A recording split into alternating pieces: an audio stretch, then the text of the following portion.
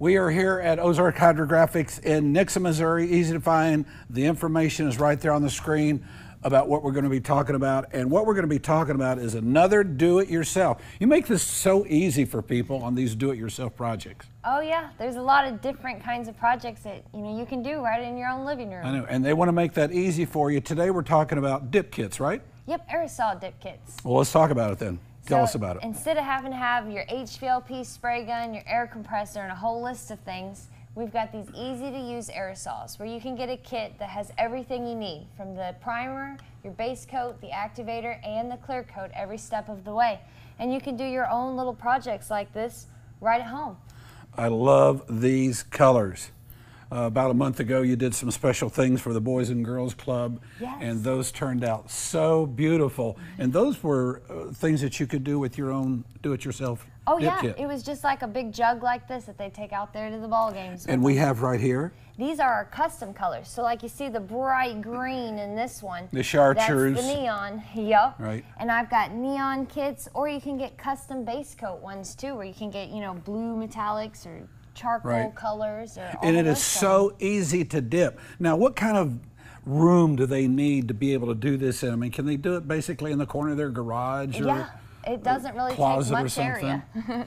so you know, if you have a cup like this, you know, all you got to do is spray it, dip it, and clear it. You're good Yeah. to go. Yeah, it is so easy. What about the accessories here? Um, it does come with everything you need. So you've got a respirator, you know, keep yourself safe. It comes with 10 foot of film, which is plenty to do quite a few different projects.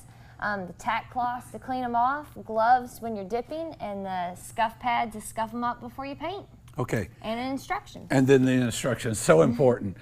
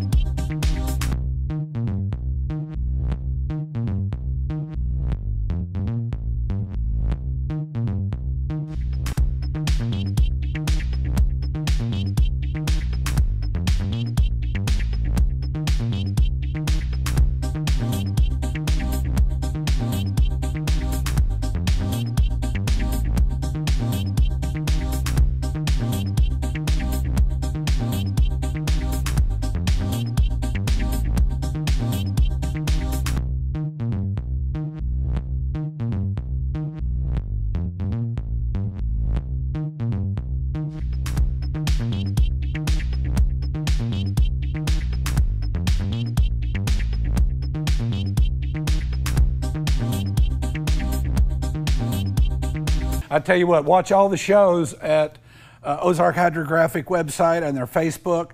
Uh, go to Get Around the Ozarks, you'll see them there. And uh, it is so easy, it is so much fun, and you will be the envy of all your friends, right? yup. Do it yourself dip kits. Check it out today and get started.